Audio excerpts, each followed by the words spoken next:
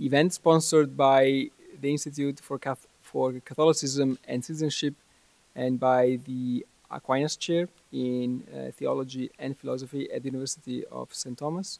We're very happy to have you here, and we're very honored by the two speakers that will uh, honor this event uh, tonight. My name is Massimo Fagioli. I am the director of the Institute for Catholicism and Citizenship, and it is my duty to uh, say a, a few words on why an institute on Catholicism and citizenship decided to sponsor this uh, event. Uh, the motivation came for, for this ecumenical event from the acknowledgement that there is a connection between the idea, the modern idea of citizenship, and uh, in history, and the end of the wars of religion. Uh, and a very interesting Italian Dominican theologian of the 14th century, Remigius of Florence, one of the early pupils of Thomas Aquinas, and probably one of the teachers of Dante Alighieri, in his treatise on the common good of 1301 wrote, quote, where there is no citizen, there is no human. And so Remigius advocated a strict uh, theocracy as a political system. So we are not are not going to follow Remigius uh, very far here. But in history, there is a connection between the development of theological ideas um, and of the relations between churches um, and citizenship. Uh, in the late 16th century in France, uh, Le Politique, they tried to imagine a way out of the wars of religion. Uh, they believed in the necessity of, of a strong state and of a strong sense of citizenship that was above the cultural wars. Uh, that was a first step, but the, the step that we celebrate tonight is this step that we made a few centuries after the 16th century uh, in dealing with religious diversity and with uh, different uh, theological traditions. Uh, ecumenism today is part of, of the modern understanding of citizenship. And that is largely thanks to the Second Vatican Council 50 years ago. In this sense, the history of ecumenism is part of the modern idea of a citizenship, of, of a citizenship rooted in the idea of religious uh, liberty. Not long ago, in the history of Christianity, excommunication meant also exclusion from social and political life. And so the event of, tonight celebrates uh, the end of a long period in the history of Christianity between the Orthodox Church and the Roman Catholic Church and the beginning of a new period. This event of tonight in particular focuses on one of the great moments in the history of ecumenism, the lifting of the, of the excommunications between, between Rome and Constantinople uh, in 1965, that great moment uh, embedded in the most important event of, of Catholicism in the 20th century, the Second Vatican Council, continues to bring fruits, and we're very happy to host our prominent guests for this dialogue tonight. Uh, without further ado, I invite my colleague Paul Gavrilyuk to introduce our speakers. Thank you.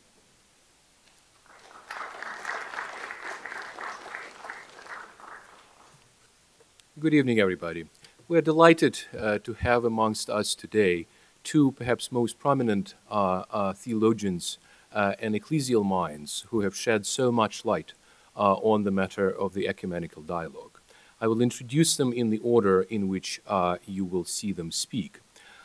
Reverend Dr. John uh, Chryssavgis is the author and theologian who presently serves as an advisor to the Ecumenical Patriarch Bartholomew on uh, items of ecological, uh, on environmental issues. Uh, he's also the clergyman of the Greek Orthodox Archdiocese of America.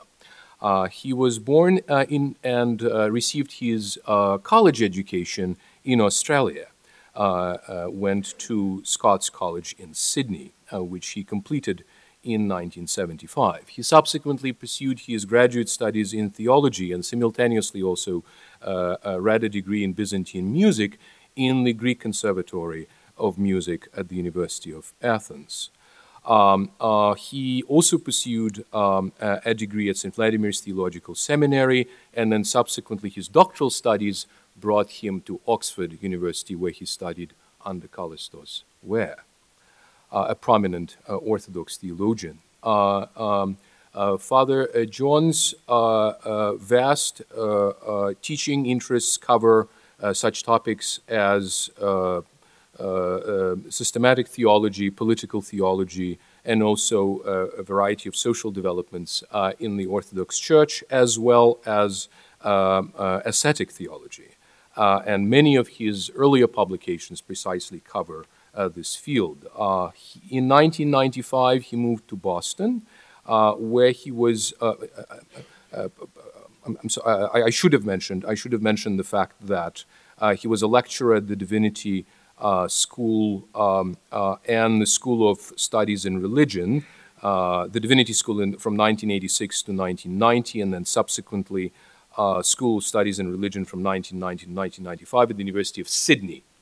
In 1995, he moved to Boston, uh, where he was appointed professor of theology at the Holy Cross School of Theology and directed the religious studies program at uh, the Hellenic College until 2002.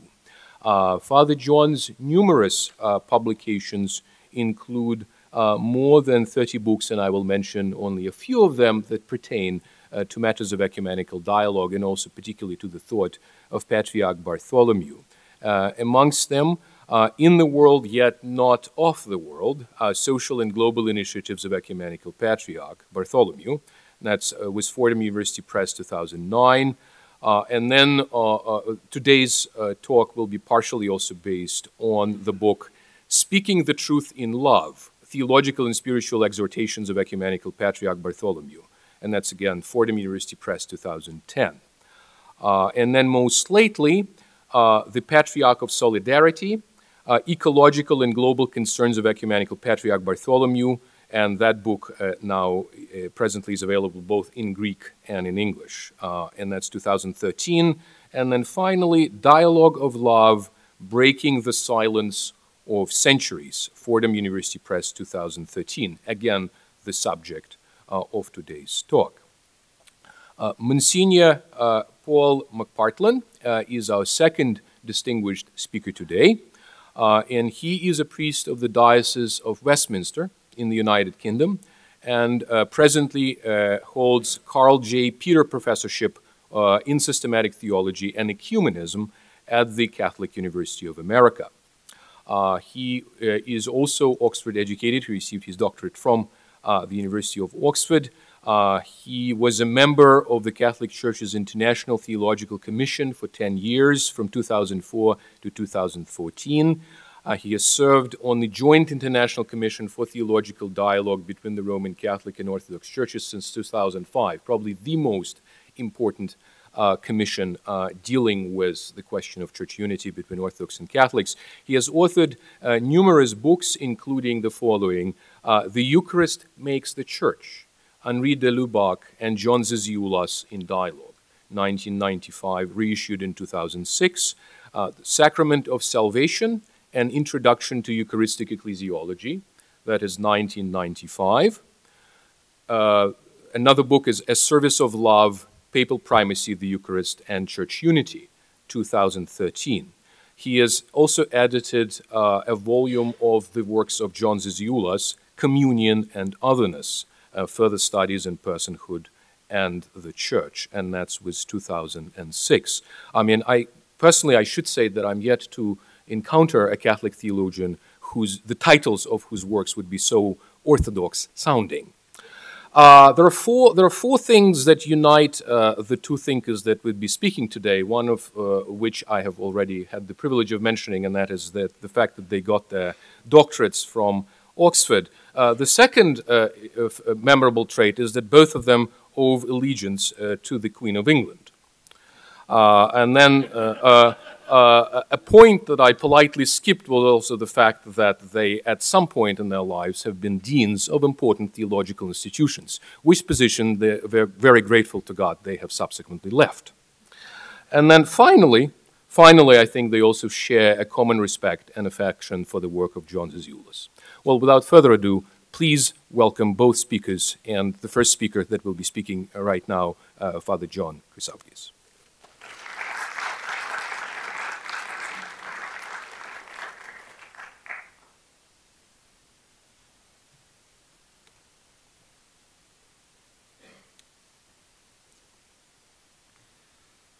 Chryssavgis. I'm never sure what to do when people sort of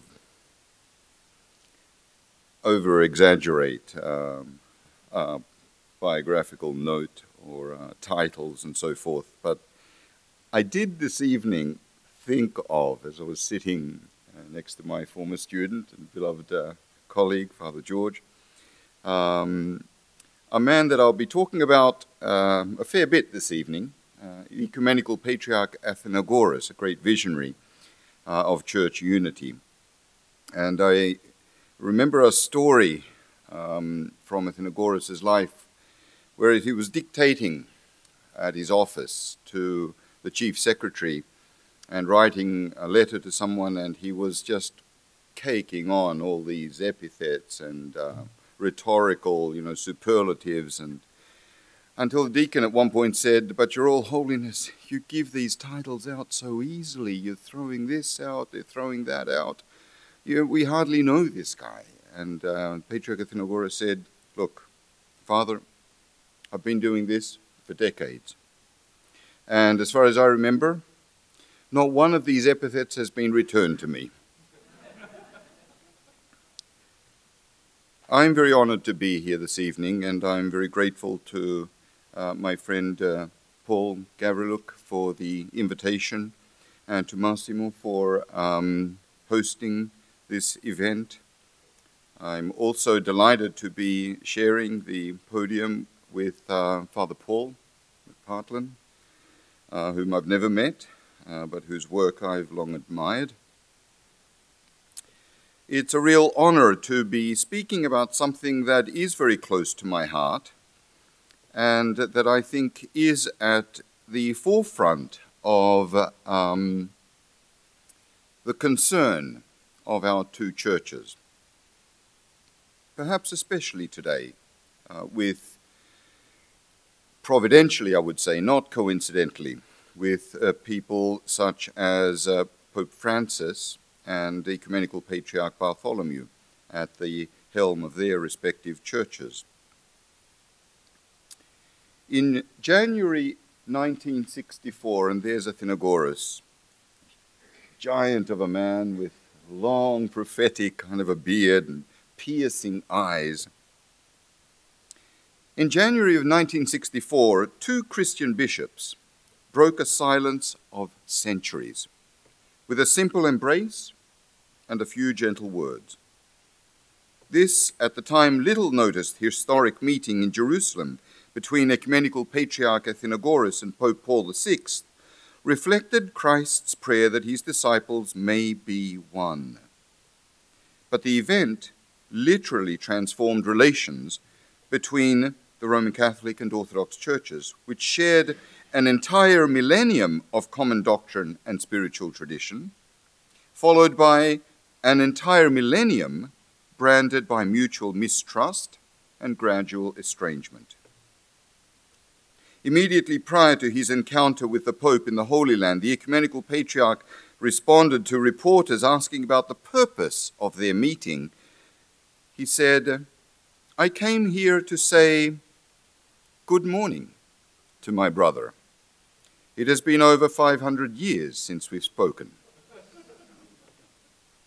So, when on January 5th, 1964, Pope Paul met with the Ecumenical Patriarch on the Mount of Olives.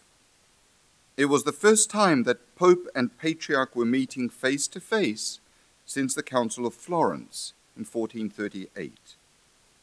The venue in 1964 was symbolical. It was the site where Christ, on the night of his betrayal, pleaded for the unity of his followers. Of course, both leaders knew very well that any comprehensive rapprochement would take years, even decades. But when that demon of modern technology raised his head, their commitment to unity became very apparent. After the public dialogue was broadcast throughout the world, few people realized that the microphones were not switched off.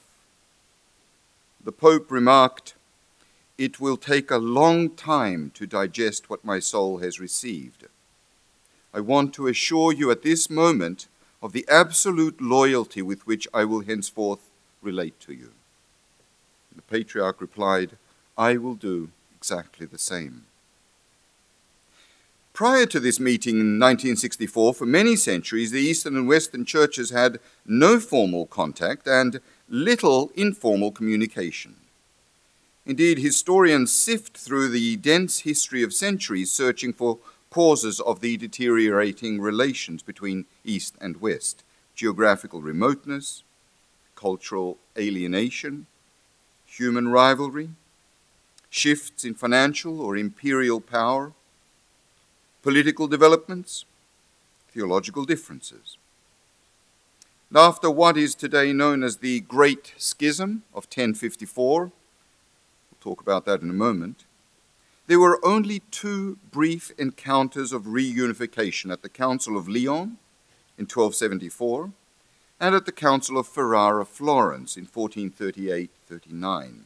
But both occasions actually left feelings of bitterness rather than hopefulness. The estrangement was, of course, sealed by the Crusades and the sack of Constantinople in 1204 when Christians slaughtered Christians. So, mindful of this bitter history, in 1959, Patriarch Athenagoras commissioned the newly elected Archbishop Iakovos of North and South America to visit the charismatic and angelic, now canonized, Pope John XXIII, who had just announced the Second Vatican Council to convene in 1962. When Iakovos met the Pope on March 17, 1959, it was the first encounter between a patriarchal representative and a Pope of Rome since 1547. We're talking some big dates here. Patriarch Athenagoras himself, formerly Archbishop here in America, undertook the inspiring yet daring initiative of addressing a personal letter to Pope John XXIII on May 30th, 1963, wishing him speedy recovery from his illness at the time. That was the first time in some 400 years that either a pope or patriarch communicated directly with his counterpart. And in that letter, Athenagoras described the pope with words from John's Gospel There was a man sent from God whose name was John.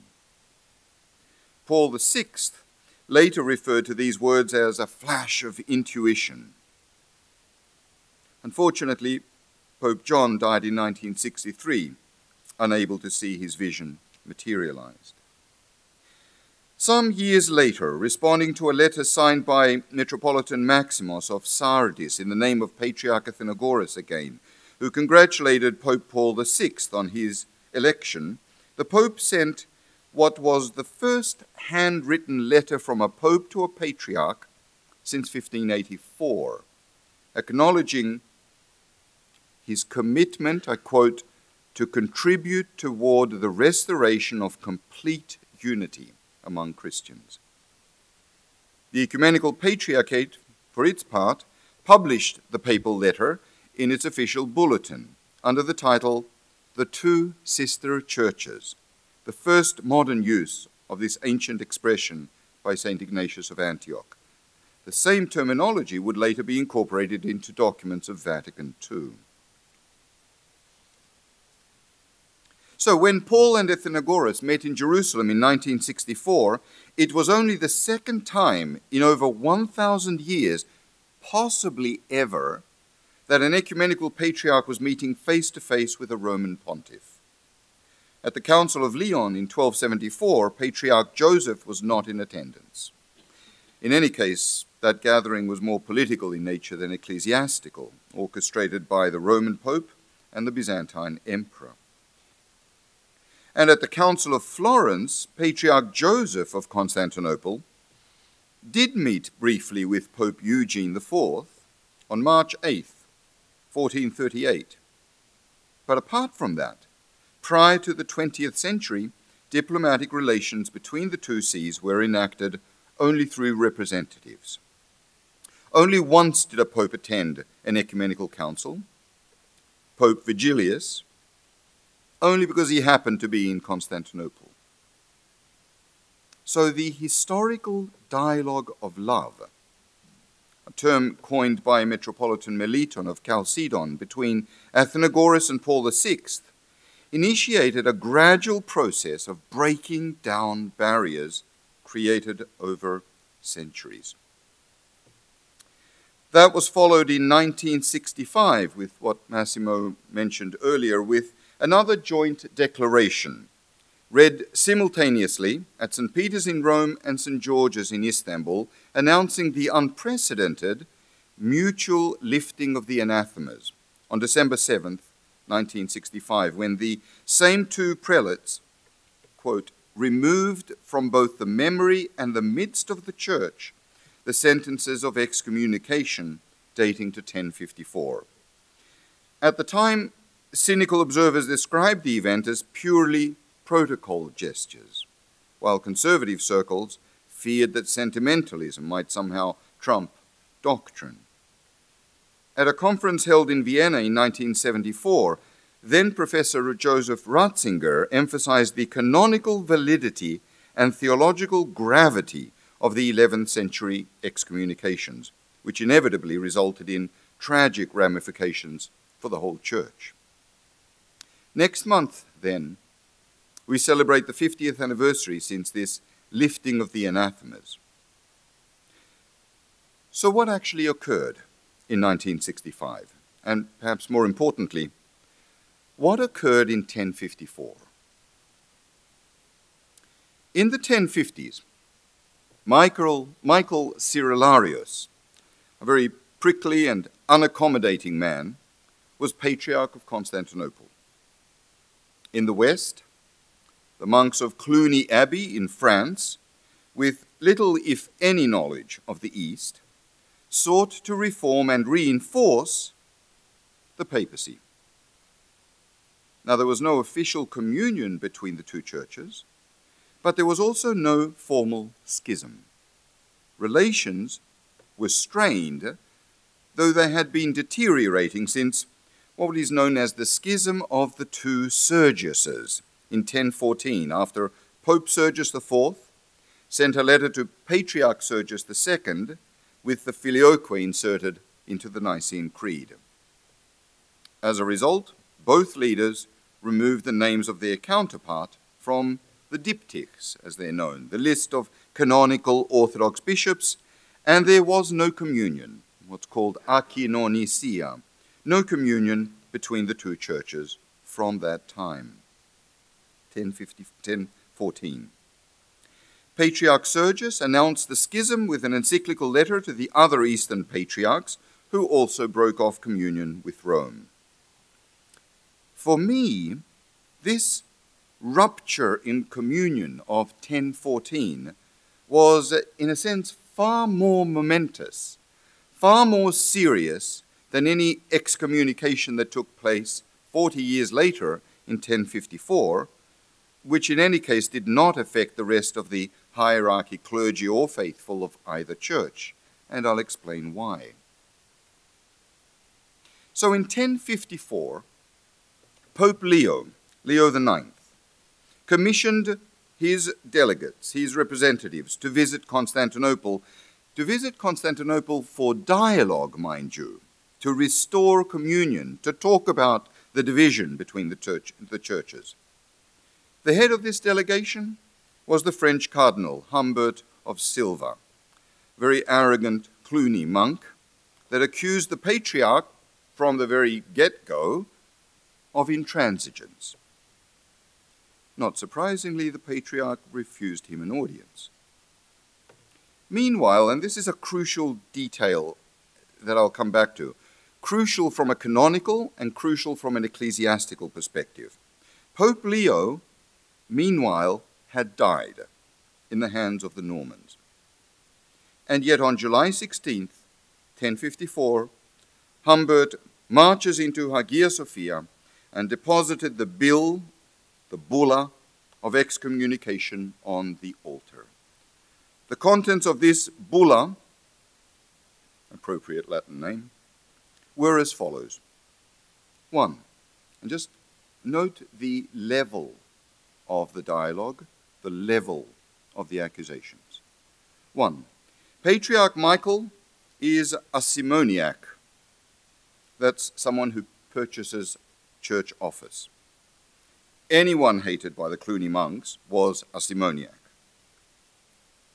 Two, Byzantines are blamed for ordaining castrated slaves. And were these issues last discussed at St. Thomas University? Three, Eastern theologians were accused of removing the filioque from the creed. Four, Greeks were condemned of Manichaeism. Really? Why? For using ordinary bread in the Eucharist. Five, the Greeks were charged with refusing communion to those who had, uh,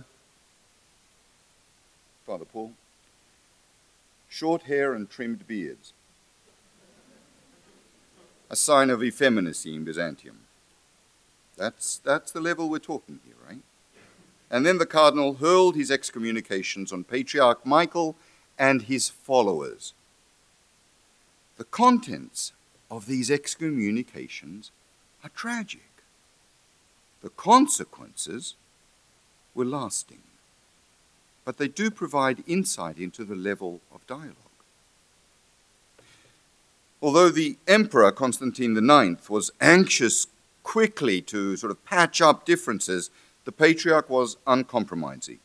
He summoned his bishops, he held a council, and he excommunicated the legates, accusing them of using unleavened bread in the Eucharist, shaving their beards and hair, and being what I would call wussy in their fasting rules compared to our fasting rules, and introducing the filioque into the creed.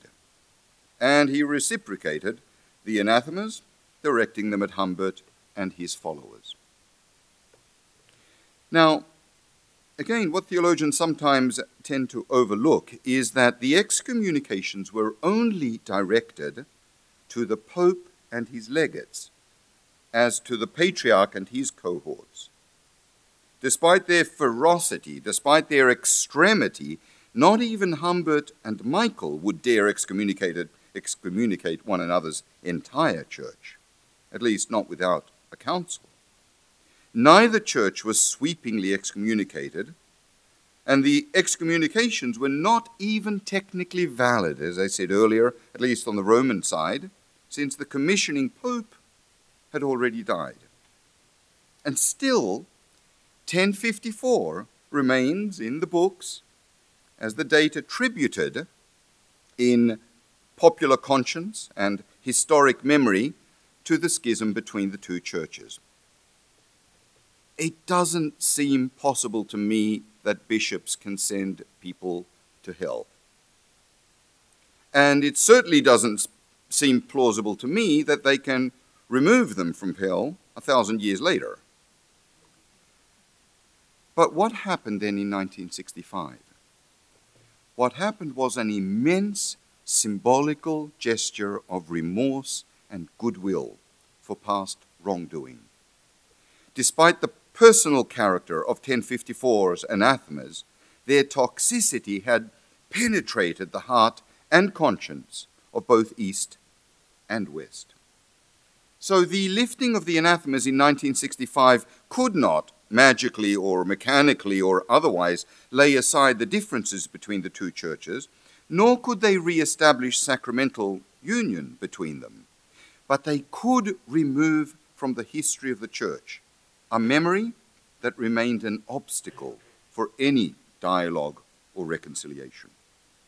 Because the tentative rupture in communion from 1014 and the traumatic events of 1054 had somehow been conflated in people's minds, creating the impression of a canonical and theological division that somehow occurred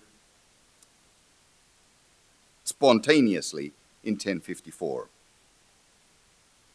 You know, at the end of the 11th century, Emperor Alexis I Komnenos asked Patriarch Nicholas of Constantinople why was it that he was not in communion with Rome? After all, he says, there is no formal synodal documentation to this effect. That's true. In fact, when in the 16th and the 18th centuries people were searching for a date of the schism, they really could only discover the schism of the two Sergiuses. There was no discussion at the Union Councils of Lyon in 1274 or Ferrara Florence of 1438 and 39 about what happened in 1054, no mention of that. Now, of course, what followed, the Crusades and the election of a Latin patriarch in the East, none of that helped. But through the centuries, we somehow lost our bearings in regard to relations between our two churches. I would propose to you that it is in that confusion between the lack of communion since 1014 and excommunications of 1054 that were dispelled in 1965, that's what paves the way for closer relations and prepares the ground for a theological discussion on such topics as the filioque, or the infallibility, or the primacy of the Pope. What then was the reason for the Great Schism? And what are the prospects for full union? In my humble opinion, the answer lies in the words of a visionary French Dominican, Father Yves Congar, who published an essay in 1954 on the history of the schism, observing that the mutual estrangement, that's the word he uses, between Eastern and Western Christianity has deep roots in the religious culture of both worlds that developed over the centuries, beginning long before 1054 while leading to growing prejudice and misunderstanding on both sides. And it's this estrangement, he argues, that caused both sides to accept the mutual condemnations of 1054 as final. On the first anniversary of that lifting of the anathemas, Patriarch Athenagoras wrote to Paul VI This is a time for Christian courage let us love one another in order to confess our former, former common faith. The following year, in his address to the Bishops' Conference in Rome, October 26, 1967, Athenagoras declared that the time of reunion may well be the future, but the time of love is the present.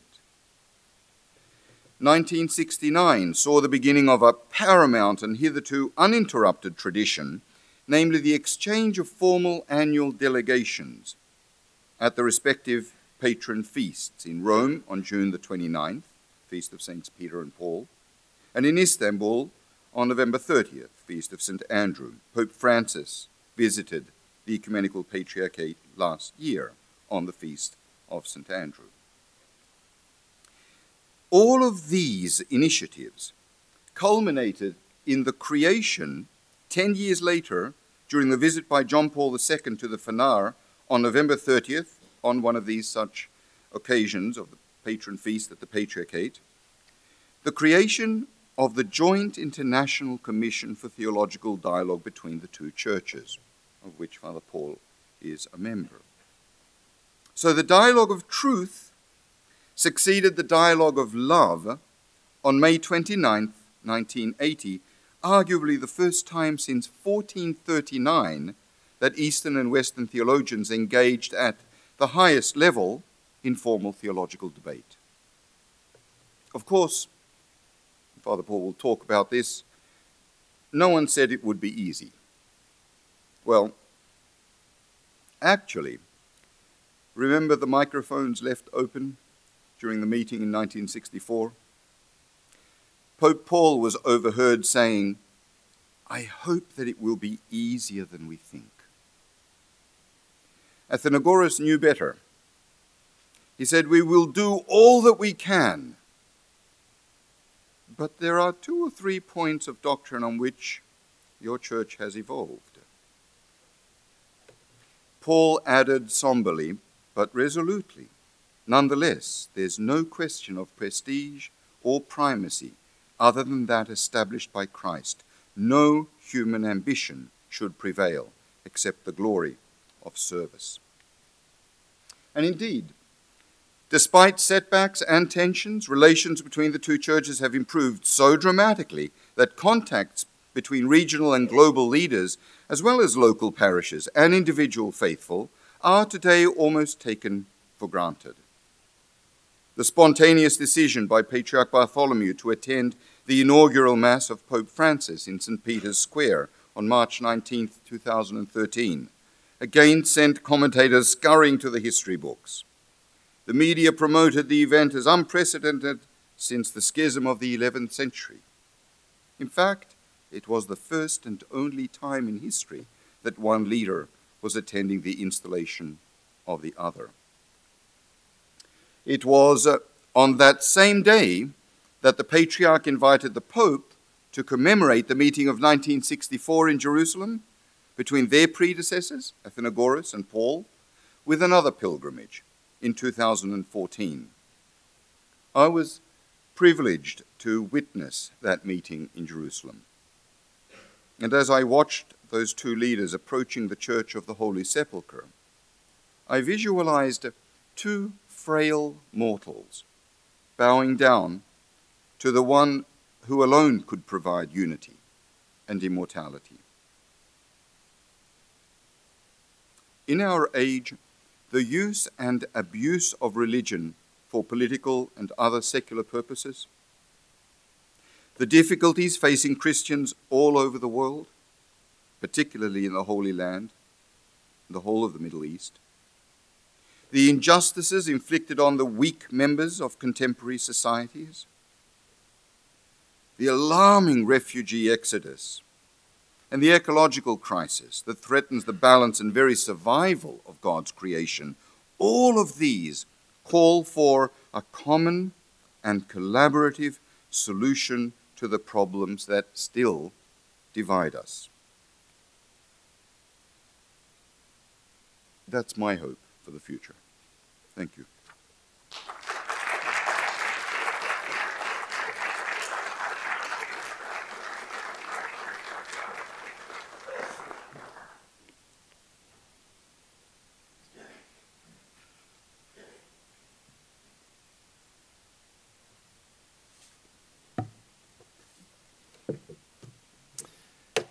Dear friends, it is a very great pleasure to be taking part in this event to celebrate the remarkable progress in relations between Catholics and Orthodox, indeed, from mutual excommunications to growing communion in the last 50 years or so. And I thank Dr. Faggioli very much for kindly inviting me, and Dr. Gavrilyuk for his very kind introduction.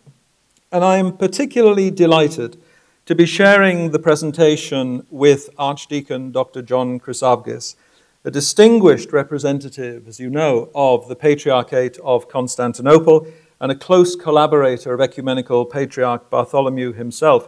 And thank you, John, for this wonderful story that you have told us of progress in the last 50 years, for contextualizing it against the history of the 11th century, and for these beautiful pictures that have captivated us and for leaving this beautiful picture on the screen as I speak. I hope, friends, that you have the handout uh, with significant dates and events and quotations that was distributed before. Does everybody have that handout? Please don't worry as you look at it and you think, good heavens, are we going to go through all this line by line? No, we're not. So I'm just going to take uh, one or two extracts from that, but I hope that you might find that just uh, a good work of reference, just with some of the, uh, the main points from the ecumenical movement overall of the last hundred years or so. The story of Catholic Orthodox theological dialogue, which is what I'm particularly going to reflect on this evening, is of course woven into this bigger story of, of a wide ecumenical movement. One of the most significant dates there, as you'll see, and we've just been hearing, was the 5th of January 1964, when Pope Paul VI met Ecumenical Patriarch Athenagoras on the Mount of Olives in Jerusalem. As Archdeacon John has been telling us, that historic encounter really inaugurated the modern push for reconciliation between Catholics and Orthodox, and regular prominent meetings of successive popes and ecumenical patriarchs have been a notable feature of Catholic Orthodox relations ever since. Theological dialogue between the two churches didn't begin for another 15 years or so. There was, first of all, the dialogue of charity. But the national dialogue between Catholics and Orthodox here in the USA began almost immediately afterwards, actually in September of 1965. Before even the mutual excommunications were lifted, then in December of 1965. So here in the States, dialogue began very quickly, very eagerly, and that's a marvelous thing. The lifting of the mutual excommunications was really, as Archdeacon John said, a mutual statement of intent to repair our tragically fractured communion. The formal theological dialogue between our churches restarted after a period of intense difficulty in 2005 with new co chairmen and many new members. That's when I myself and others were drafted in.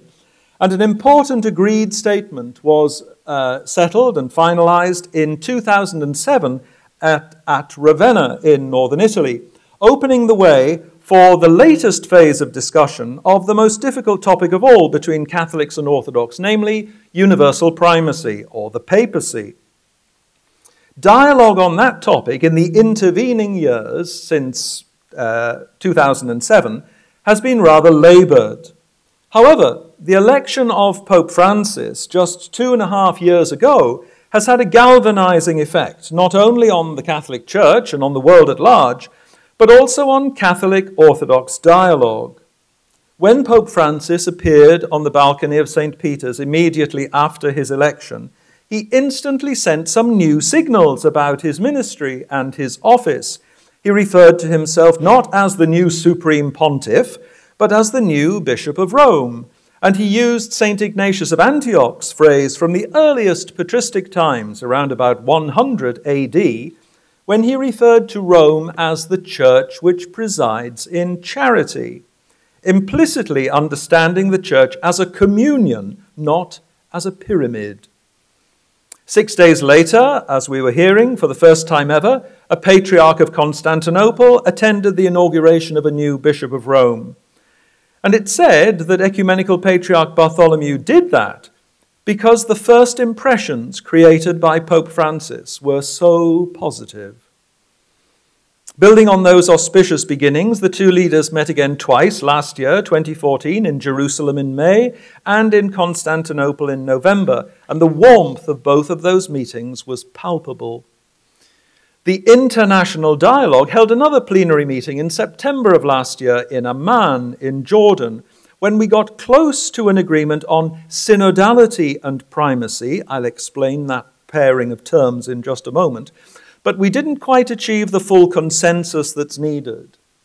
And so this summer we had further smaller meetings in Rome to revise the draft from Amman. And I'm very happy to report that we now do have a text that we think both sides might be able to agree on. Another plenary will need to be held in order to consider that revised draft, and we hope that that might be able to happen next year. So, synodality and primacy. Broadly speaking, synodality means journeying together. Pope Francis has been speaking of this a lot. Journeying together with all members of the church supporting one another and taking counsel together on our way to the kingdom of God. More technically, it refers to the collaboration and decision making by the bishops who lead the church, especially in synods or councils, so the words conciliarity and collegiality are sometimes used as well. Primacy focuses on specific leading figures the bishop locally, the metropolitan or patriarch regionally, and the pope universally. Sometimes it's thought that those are two different kinds of leadership and government, two different systems, synodality and primacy. But a key principle of our dialogue is that they actually go together. Synodality needs primacy in order to function. There needs to be leadership and coordination. And on the other hand, primacy needs synodality in order to benefit from the wisdom of others and to avoid being repressive. If Orthodox tend to specialize in synodality, it could well be said that Catholics specialize in primacy. And how? But neither of those specializations is healthy on its own. We need to learn from one another, and that's surely how eventually, please God, we will re-establish communion between us. Pope Francis has said quite plainly that the Catholic Church needs to learn from the Orthodox Church about synodality. The Catholic Church does, in fact, have a synod of bishops. It was established in 1965 at the end of the Second Vatican Council, and it meets about every three years or so for three or four weeks at a time. A major meeting, as you probably know, on the theme of the family took place just recently in Rome. And during it, Pope Francis gave a very significant address, emphasizing the importance of synodality. He explained his vision, in fact, of what he called a fully synodal church, served by all of the church's ministers and ultimately by himself as universal primate, the servant of the servants of God.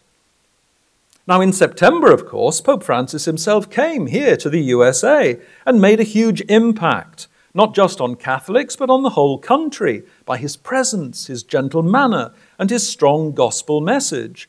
He showed the benefit of having a clear focal point for leadership and teaching in the church. And that's the benefit of primacy and the importance of primacy. So the interaction and uh, mutual fitting together of primacy and synodality for the health and well being of the church is an enormously topical issue, not only within the Catholic Orthodox dialogue, but within the Catholic Church itself. Very briefly, how in recent times, during the, uh, the ecumenical movement that you have on your chart, did we get to where we are now? If you look on the, the top sheet has dates and quotations. If you look at the second sheet, you'll see a diagram. And the diagram looks rather like a tuning fork with a timeline coming down the middle. On the left hand side is the Catholic Church, on the right hand side is the other churches. It's grouped like that because the ecumenical movement began on the right hand side of that diagram, and the Catholic Church held itself rather aloof until the Second Vatican Council, with its uh, dogmatic constitution on the Church, Lumen Gentium, and its decree on ecumenism, Unitatis Redintegratio. The famous verse that we all think of from the scriptures when we think of ecumenism is John 17:21, Jesus' prayer at the Last Supper, Father, may they be one so the world may believe. There's an important link between church unity and missionary outreach. And in fact, on the right hand side of that diagram, one of the landmark events in the modern ecumenical movement is the Edinburgh Missionary Conference from 1910. If you look at the top of the chart of dates, you'll see that that was followed in 1920 by two very important initiatives. One from the Anglican Communion, the Seventh Lambeth Conference, but the second from the Ecumenical Patriarchate itself, with a very important encyclical letter of 1920 so the Orthodox Church was part of that ecumenical movement right from the very start in the early 20th century.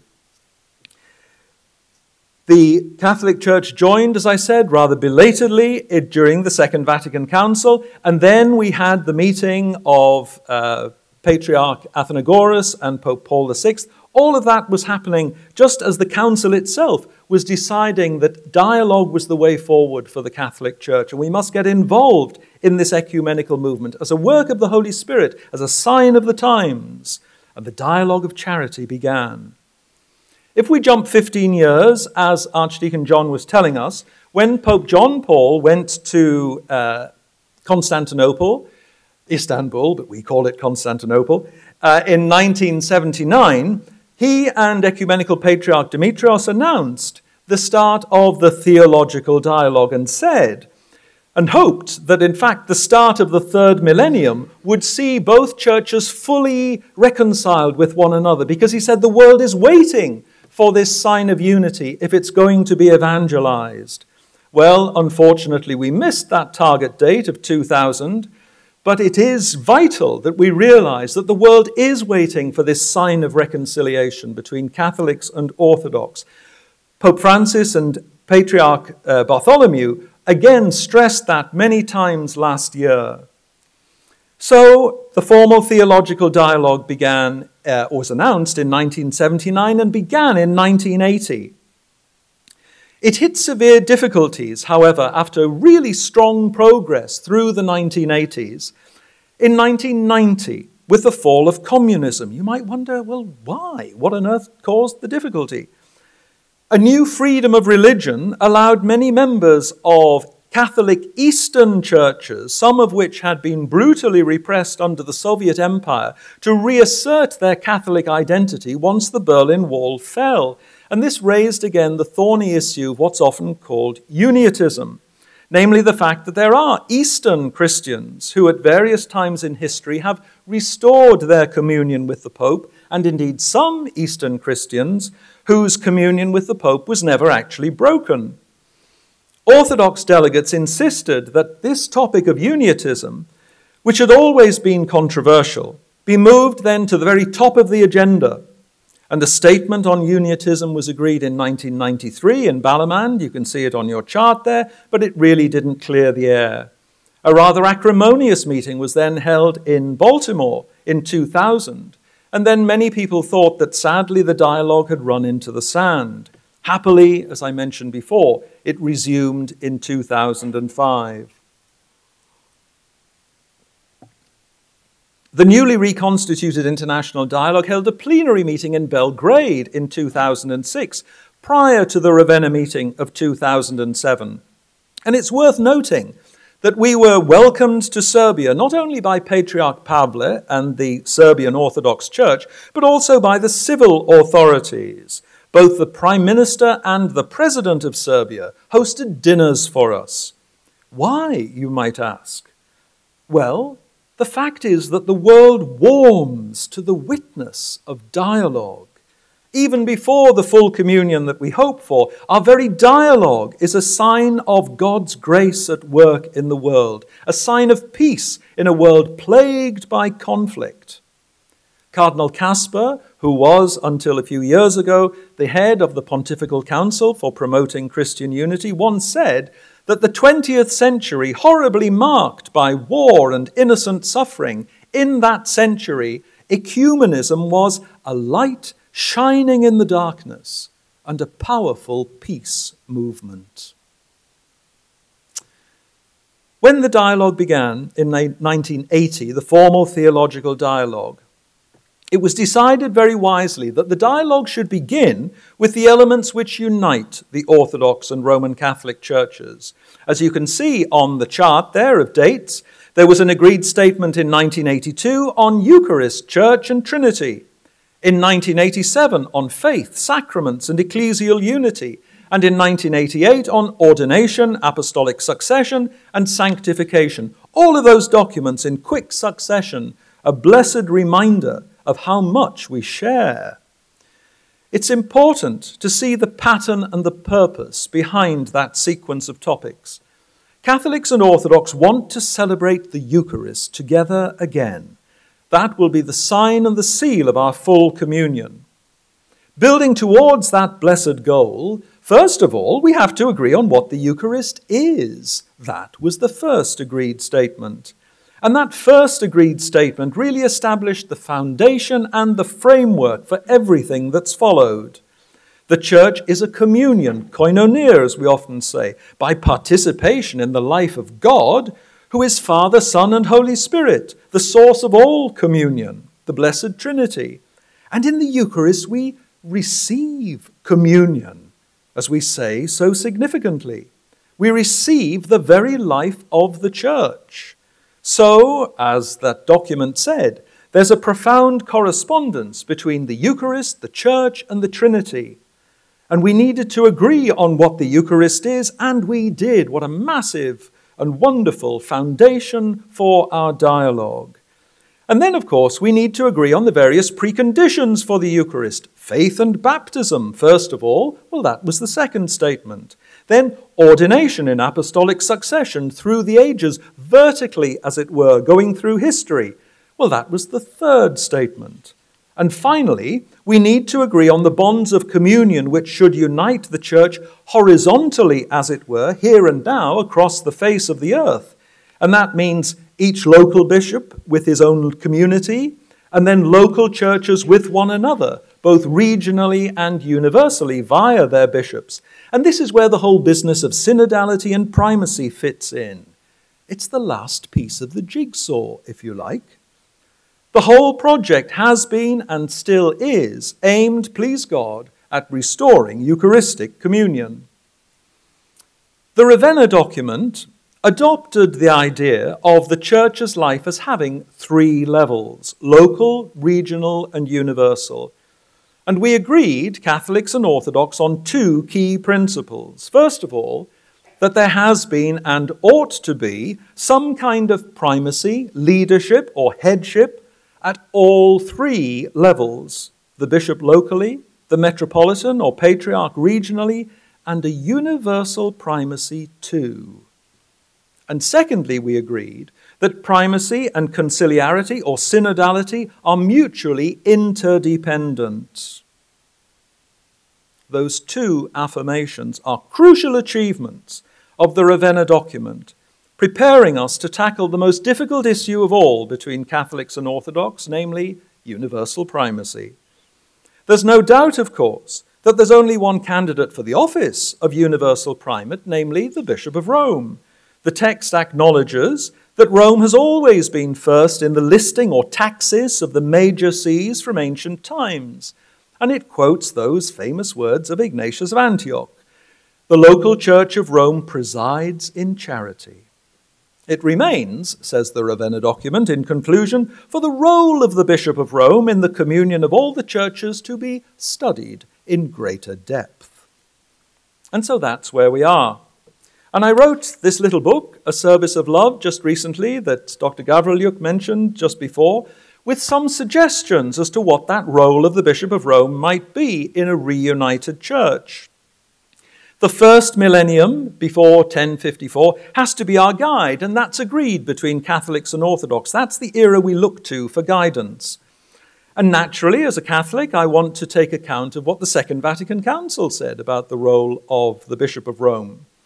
And so, in this little book, I suggest three possible ways in which the Bishop of Rome might indeed serve the universal communion re established East and West between Christians namely, moderating disputes, presiding at ecumenical councils, and serving Eucharistic communion. And just to finish, I'd like to give just a little outline of each of those three possible services, just to indicate from where we are now what are the possible ways in which we might think of the next few paces. And so, first of all, moderating disputes. Vatican II said, For many centuries, the churches of East and West went their own ways, though a brotherly communion of faith and sacramental life bound them together.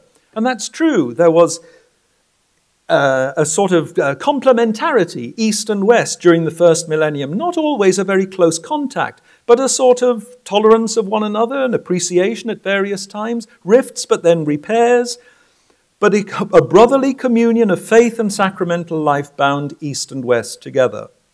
If disagreements, this is the council again, in faith and discipline arose between them, uh, between East and West, the Roman See acted by common consent as moderator. Well, the Church needs a final court of arbitration to restore peace and Eucharistic fellowship when those have been broken. And there's plenty of evidence that Rome was indeed recognized in the first millennium as the place that you could ultimately turn to if regional uh, methods of, of dispute resolution had failed. In the chaotic aftermath of the Council of Nicaea, for instance, which refuted Arianism, much of the East remained Arian, and Orthodox bishops like St. Athanasius were deposed from their sees and suffered greatly. In the context of that crisis, in 343, a major council was in fact held at Sardica, which crafted rules for cases where a bishop had a grievance that couldn't be resolved locally. He could appeal to the Bishop of Rome, who wouldn't judge the matter himself, but could decide if there needed to be a retrial and could send delegates to sit with the local bishops and reach a judgment with them. Those rather nuanced rules were accepted not only in the West, but also later on in the East too, and they might be very helpful in ecumenical discussion today. So, moderating disputes. The second possible service, presiding at ecumenical councils. Lumen Gentium teaches that there never is an ecumenical council which is not confirmed or at least recognized as such by Peter's successor, and that it's the prerogative of the Roman pontiff to convoke such councils, to preside over them, and to confirm them. Well, the convoking of an ecumenical council by a pope is something that didn't actually happen until the 12th century, significantly after that split between West and East. Prior to that time, councils were normally convoked by the emperor, often, however, with the encouragement of the pope because of particular pressing needs. Though popes never personally attended ecumenical councils in the first millennium, they normally sent delegates, and their involvement in some capacity was always regarded as a necessary condition for a council to be classed as ecumenical the bond between popes and councils is actually very clear in the first millennium. After the reading of Pope Leo's tome on Christology at the Council of Chalcedon in 451, for instance, the bishops cried out, Peter has spoken through Leo. The Second Council of Nicaea, held in 787, which was the last of the seven councils that both Catholics and Orthodox recognize as ecumenical actually gave a list of criteria for a properly ecumenical council, among which it clearly stated that the Pope of the Romans has to be a cooperator or a fellow worker with the council, at least by letter or representatives. And I think that there would be broad ecumenical agreement today that the Bishop of Rome, in consultation with his brother bishops, of course, should convoke and preside at ecumenical councils. And so finally, the third possible service, serving Eucharistic communion. Those previous two services that I mentioned, moderating disputes and presiding at ecumenical councils, are both vital, but they're occasional and exercised only as needed.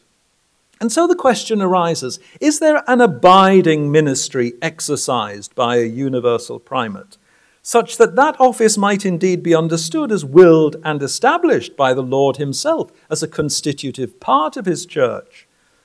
Well, recalling the early church, Vatican II referred to the very ancient discipline whereby the bishops installed throughout the whole world lived in communion with one another and with the Roman pontiff in a bond of unity, charity, and peace.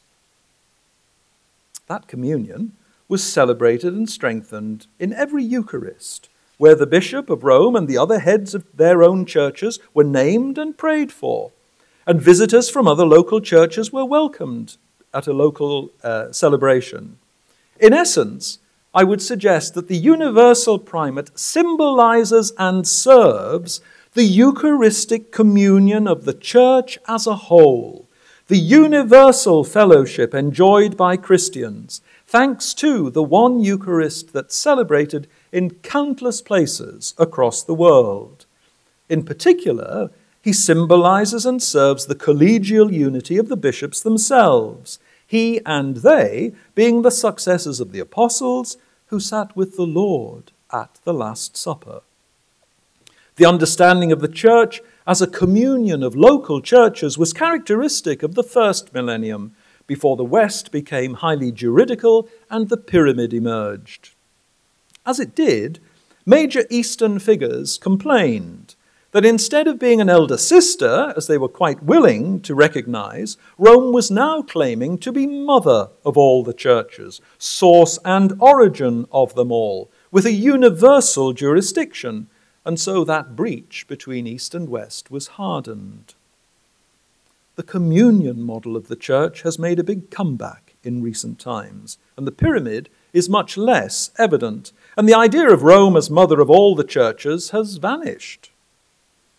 Vatican II very significantly said that in any future reconciliation between Catholics and Orthodox, the right of Eastern churches to govern themselves had to be recognized while remembering the necessary unity of the whole church. That little phrase was added because something, some ministry, has to express and serve that necessary unity of the whole church. And that, I suggest, is precisely where a universal primacy fits in. It's not about governance, it's not about jurisdiction, it's about securing communion. Ultimately, then, it's surely the Eucharist which must, which must guide us towards a solution on universal primacy. What's essential is that the unity that the whole church has, east and west, through the celebration of one and the same Eucharist in all of our different particular churches, must be made visible. Charity, agape, was actually a patristic term for the Eucharist. And that led Cardinal Ratzinger to suggest that presiding in charity, to recall that famous term of St. Ignatius, meant quite simply caring for the church's Eucharistic unity. And when Cardinal Ratzinger himself became Pope, Pope Benedict XVI, he explained that idea more fully, and I'd like just to close with his rather moving words. Quote, the Petrine ministry is a primacy of love in the Eucharistic sense. That is to say, solicitude for the universal communion of the Church in Christ. And the Eucharist is the shape and the measure of that communion. Thank you.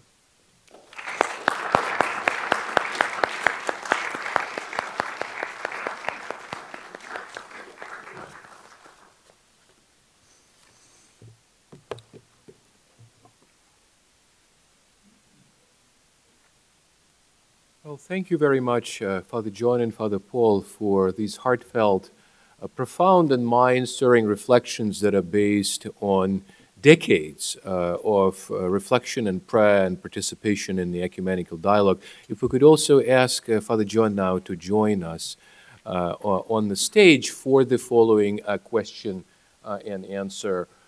period. And as you ask your questions, we would ask you uh, to come uh, to the two microphones that you see uh, on, in both aisles. So just raise your hand and then subsequently come, come to the microphones. Um, in the theological debate, um, has the topic of marriage um, and the acceptance of divorce in the Orthodox Church come up at all? And can you comment on that? Um, both sides, I guess. Uh, in the dialogue itself, I guess that's for Father Paul to really answer. Yeah, in the, in the dialogue itself, uh, the question has not come up. Um, it's, it's not on the agenda of the international dialogue. What I would say with regard to the, uh, the national dialogue, though, is that, that the international dialogue and the national dialogue are similar in some ways but different in others. And the, the, one of the things that the national dialogue between Catholics and Orthodox has, has done over the years is to reflect on a lot of pastoral issues, that, some of which pertain particularly to, for instance, North America. And so it has produced various guidelines for mixed marriages between Catholics and Orthodox and a number of issues relating to, to that. So, um, nothing precisely on the, the issue that you mentioned, which of course has been receiving quite a bit of publicity in recent times. Um, but so far, nothing specifically on that, no. Yeah, I might just add, if this is loud, I might just add that um, the issue of marriage and divorce um, is, it's there on the surface for both churches to discuss. And um, I, I, think that the um, Roman Catholic Church, with the, the, recent synod, has begun to take on this issue, but it's proving fairly controversial. Uh, the Orthodox Church is supposed to take on this issue, um, uh, in uh, the Great Council that they're planning for next year, but I doubt very much whether it will take it up in any meaningful way. Uh, that's very sad for me because I think these are the issues that. Someone's trying to correct me. Is it? Can you hear? Okay. Um, I, that's very sad for me because that's what both churches need to be looking at. Uh, it's these pastoral issues that are affecting the lives of its people, um, affecting families, affecting clergy families in my own tradition. So I think it's very sad in a sense that it's taking so long and it's causing so much, um, uh, you know, of a problem in both of our churches. I would like to see them, you know, bite the bullet a little bit more honestly and uh, compassionately. Just a, as a quick follow-up uh, comment, uh, would you think, uh, where, where is, for example, at this point, the practice of intermarriages, both in North America and particularly between Catholics and Orthodox in North America and perhaps in the Middle East? Uh, okay, that's a good question. Um, as Father Paul mentioned, the, the dialogue here in the United States, um, on the one hand, has followed sort of the, the lead of the, the um, uh, international dialogue on some issues. In other, in other ways, it, it started well before that international dialogue and has dealt with many more uh, substantial issues in, in some ways. Um, it's the longest standing continuing dialogue um, in the world between the two churches. So they've dealt with these issues, and uh, certainly in the Middle East, where they face these um, issues in an, an, existential way almost, where the Catholics and the Orthodox are living side by side as tiny, nervous minorities in you know, overwhelmingly Muslim countries, they tend to see things a little bit differently um, they tend to prioritize a little differently. And I think that's very encouraging too. But for the most part, at least in the Orthodox Church, you have to remember that many of the 14 independent or autocephalous Orthodox churches are very national churches, uh, ethnic even churches. So when you have a Church of Russia, Church of Georgia, Church of Bulgaria, Church of Serbia or Romania or Greece or Cyprus, their understanding of, uh, you know, mixed marriages, for want of a better word. I've never understood exactly what that means. It's not like a human being and uh, whatever. But in terms of marriages between Orthodox and Roman Catholics, um, I think you'll find a far more narrow, even conservative, sometimes even closed view in some of these churches. Uh, and that's very sad. But where, whereas in Australia, in uh, America, in the United Kingdom, in Western Europe, uh, they are a lot more open on these issues. Father Paul, would you like to add anything to this particular point? Any other questions?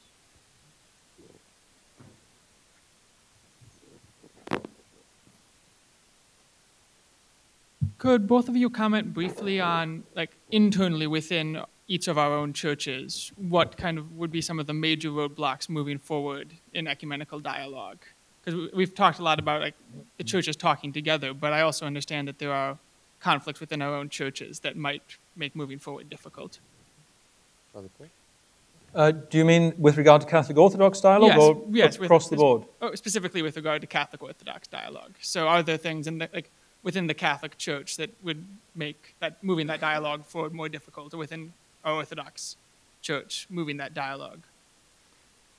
I think that um, that, uh, well, thank you very much for the, the question, first of all, because this is, this is very important because, you know, you, we have a, a, formal dialogue between us, we have the official meetings, but there, there, these initiatives cannot possibly finally be, uh, you know, fulfilled in, in the reconciliation of the churches unless there's an absolute groundswell amongst the faithful on both sides.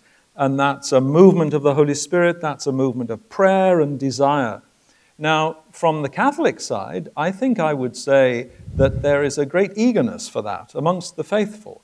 Um, that there has, I think we must pay tribute uh, to the Second Vatican Council for this. The, the, Orthodoxy has not had a similar moment when, you know, the, the, the whole kind of spectrum of the church life and, and practice in, has been assessed for the modern age, like Vatican II was for us. And so the Catholic Church officially joined the ecumenical movement with great enthusiasm at the Second Vatican Council.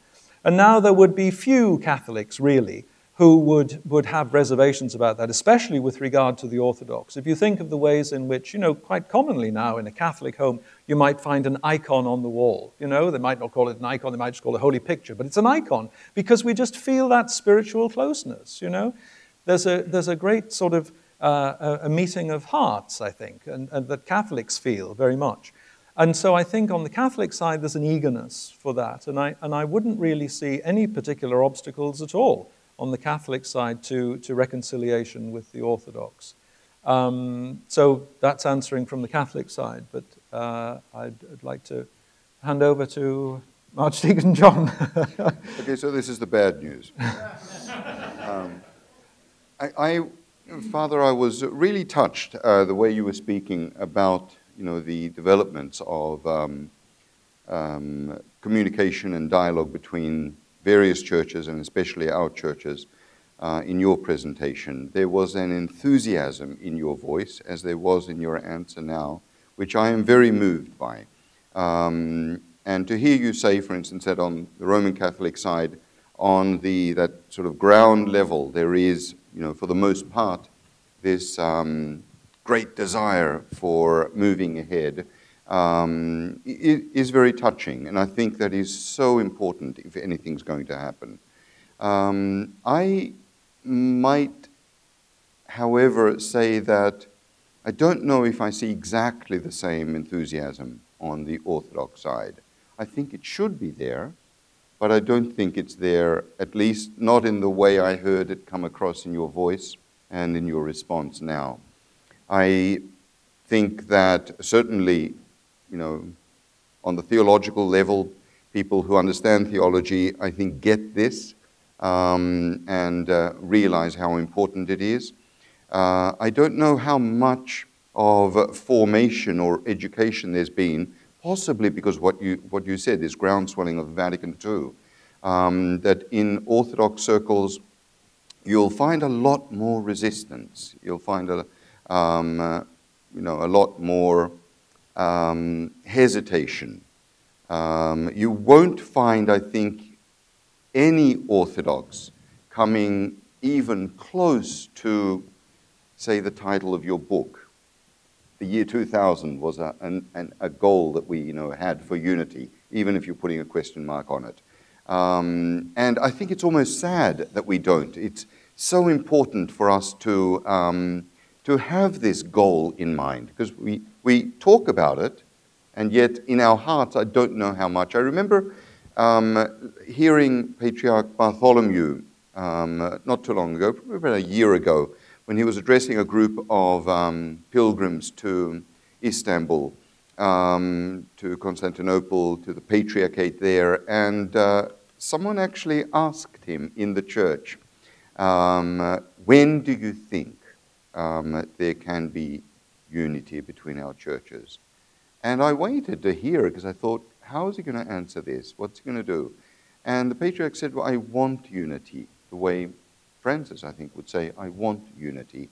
And he said, But I cannot see it happening in my lifetime. And I thought that there was just a kind of um, a reflection, not just realism, but a reflection of probably where much of the Orthodox Church really stands and that even if he feels like moving faster, he's got to look back and pull the rest of the church as well. Uh, it was Athenagoras that said, um, if only we can lock away all the theologians on an island just for a week, we can pull off unity. And then we can invite them back again.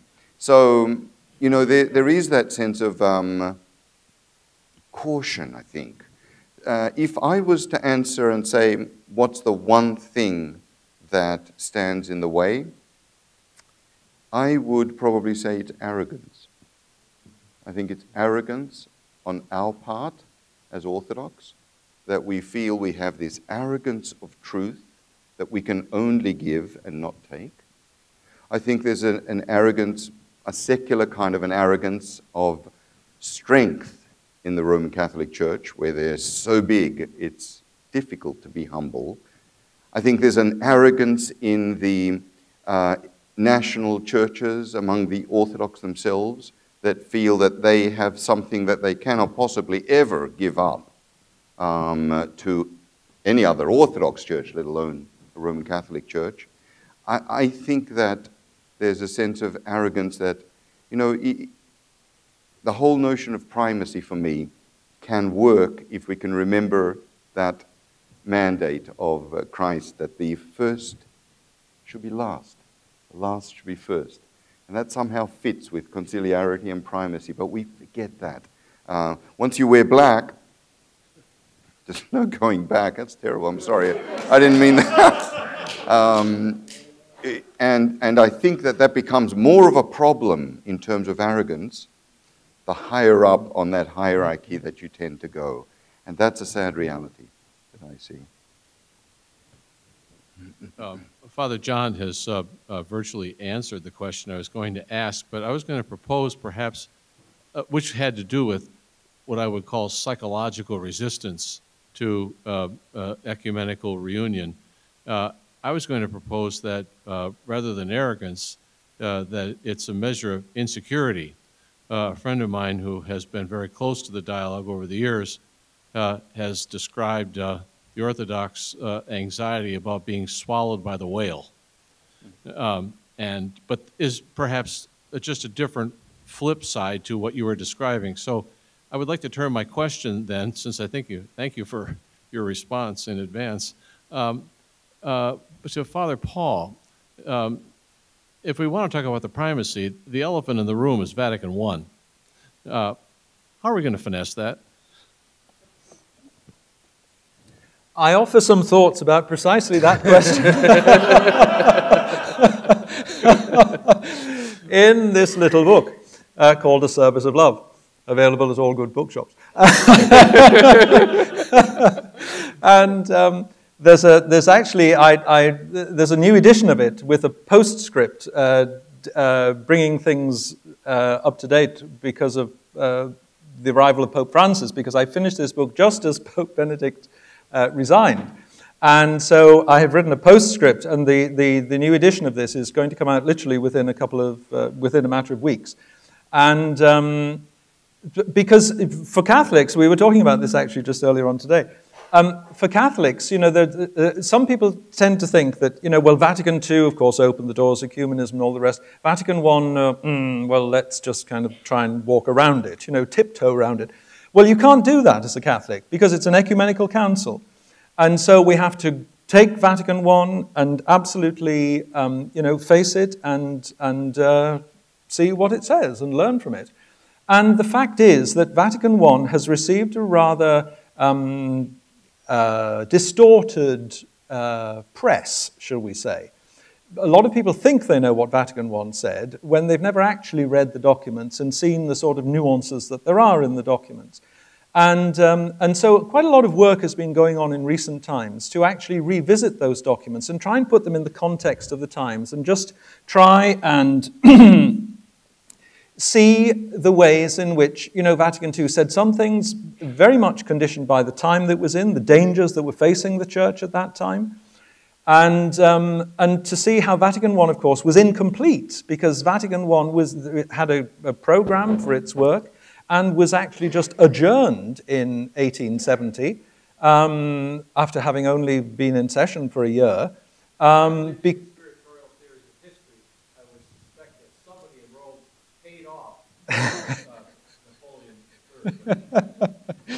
Well, whatever the reasons, it was the, the, the, the fact is that it, it, it was cut short, and everybody knew at some stage the whole project would have to be resumed. I think it was probably providential that we waited 100 years then for all the massive renewal that took place in the early 20th century the patristic renewal, liturgical renewal, um, biblical renewal, and uh, you know, matters of primacy and, um, and the relationship between the Pope and the bishops had been treated at Vatican I in a very juridical language. It was almost as if that was the only language available. And it, it's, it's actually a straitjacket So Vatican I is trying to say, and is saying very important things, but within the constraints of a particular kind of vocabulary. And so the, the language at Vatican I, when talking about Pope and bishops, is all about jurisdiction. Whereas Vatican II has a much uh, more biblical, liturgical, and patristic kind of uh, vocabulary at its, at its fingertips, and is able to go back and, and reinforce what Vatican I said, but saying it in a much more understandable, comprehensible, nuanced sort of way. And for instance, uh, particularly I was thinking there of what it says about primacy with regard to what it says about infallibility, which of course is another big uh, question people get concerned about. We need to remember, of course, that Vatican I specifically anchored the infallibility of the Pope as, as a manifestation in privileged circumstances of the infallibility of the Church. So when you think of, you know, the Pope expresses in certain very precisely defined circumstances the faith which the Lord wanted his church to possess. So he's not some personal oracle who can just speak at whim on whatever, you know. In very careful circumstances, we believe that he can he can voice the faith of the church. And the, the two, the two uh, um, infallible statements of recent times, the definition of the Immaculate Conception in 1854, before Vatican I, funnily enough, and the, the definition of Mary's Assumption in 1950, were actually both preceded by a very wide canvassing of the faith of the, the, the faithful. The Pope asked the bishops to, to, to monitor the faith of their, their people and to feed back the results. Is this the faith of the church? And only then did he proclaim it. So, you know, there's, a, there's actually a lot more going on than people tend to think. So, um, so Vatican I, we must squarely uh, reckon with. And in fact, you know, there, there's, there's no need to be afraid in doing so. Well, yeah, thank you. Thank you for this uh, commentary on Vatican I, uh, which, of course, uh, you mentioned you called it ecumenical.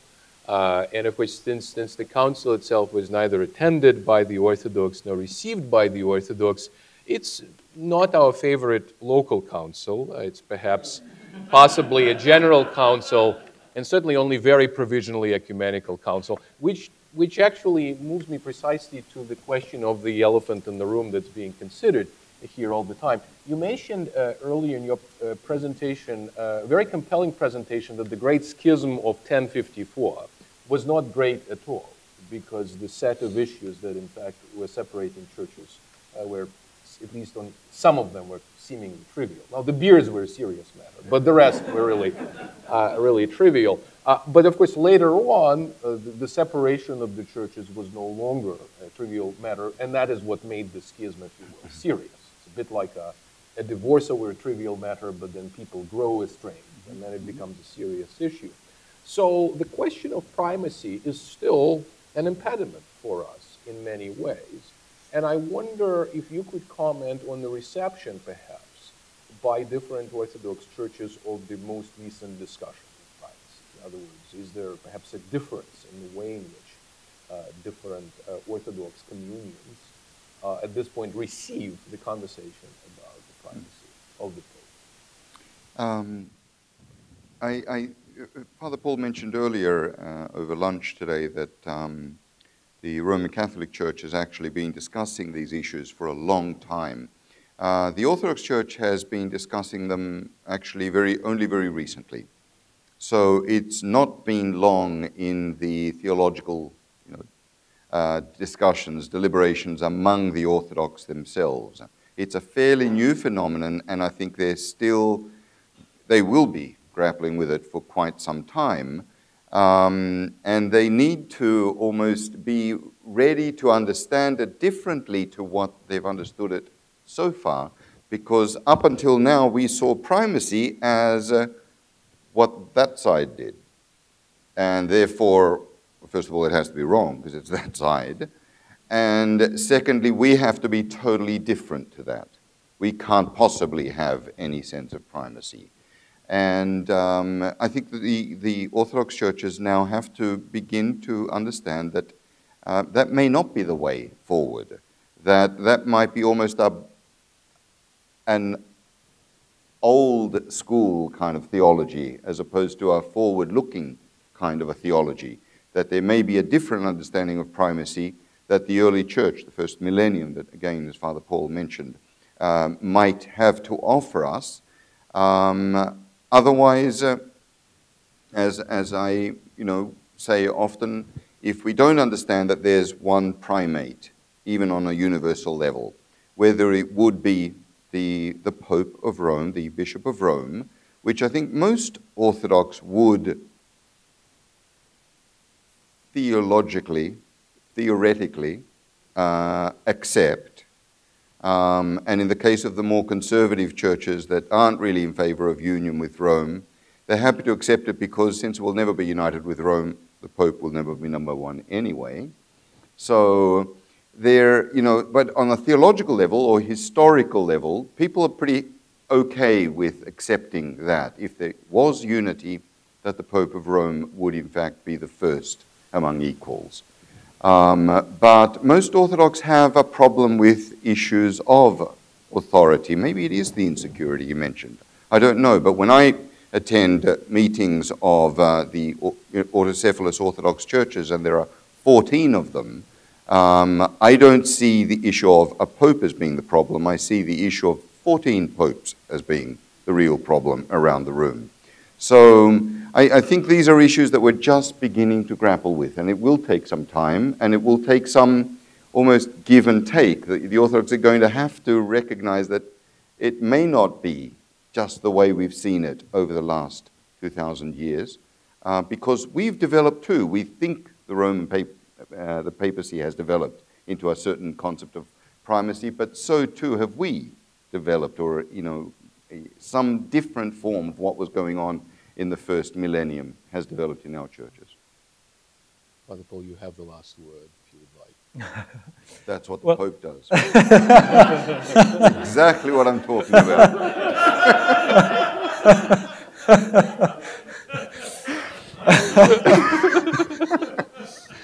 I, I think I would just want to, um, to, to reiterate that point that, that, that, Father John just made that, that there has been a lot of fresh thinking going on in, in the Catholic Church about primacy in recent times, and, and precisely to link primacy to Eucharist um, as, along the lines that I, was, that I was mentioning. Because we tend to think still, I suppose, you know, it, it, we think instinctively the Pope, we think of the pyramid, probably comes immediately to our minds. There's the Pope at the top. The, the, when Pope Francis appeared on the balcony and said that he was the new Bishop of Rome, the church which presides in charity, he was going back to the beginning of the first millennium. The pyramid comes from the beginning of the second millennium. He was going back to what St. Ignatius of Antioch said around the year 100 AD. And so, you know, there is a primacy that he was acknowledging. And it's not a primacy that's at the top of the pyramid. a primacy doesn't have to mean at the top of the pyramid. It can mean at the center of a network of love and charity that's sustained by the Eucharist. And that's the sort of picture that that actually has been developing within the Catholic Church in, in the last 20, 30 years. And um, if you, and that's certainly the, the, the, the, the kind of approach that's now being tried by the Catholic Orthodox dialogue. So, you know, we, we, we, we must be receptive to fresh ways of looking at things. And I think, um, you know, it's important to realize that in the Decree on Ecumenism, Unitatis Redintegratio, one of the very important sections it has is about spiritual ecumenism. And spiritual ecumenism just means the attitude of mind and heart with which we approach the whole ecumenical venture. And uh, it means that, you know, as well as having all these ideas and the theological dialogue and all the rest, in our hearts we must have a love for one another. We must be ready to say sorry for the offense we've given in the past. We must be genuinely receptive to the wisdom and the goodness that others have, ready to learn, and not always think that we've got the answers. And if Father John was saying before that, you know, perhaps the Orthodox tend at times to be rather arrogant, thinking hmm, we've got nothing to learn. Well, for a long time, and maybe in some ways even today, the Catholic Church was the same. And so, you know, the Catholic Church, when we joined the ecumenical movement at Vatican II, there was a great, one of the phrases that was used in the Decree on Ecumenism was to end, we agreed to enter into dialogue with others on an equal footing, an equal footing. The Catholic Church, for a long time before, in the first half of the 20th century, had always believed it was the others who left us, it's for them to come back.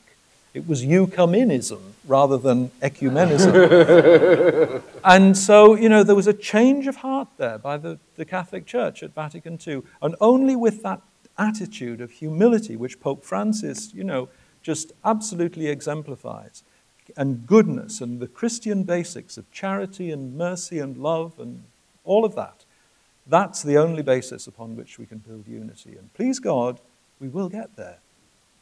Thank you. Well, thank you so much.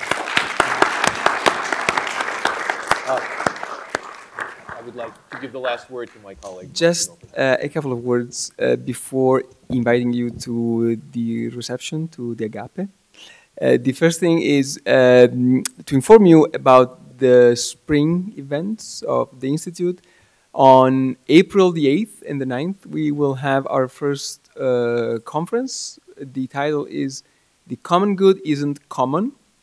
And it will be on April the 8th and the 9th. One of the speakers will be Bishop McElroy of San Diego. And then we will have on May the 4th the annual lecture of the Institute with, with Erin Lothes uh, on environmental theology. Uh, she's an expert in theology of the environment for the US bishops. Uh, Please visit our website uh, of the ICC, uh, UST ICC, to uh, stay informed.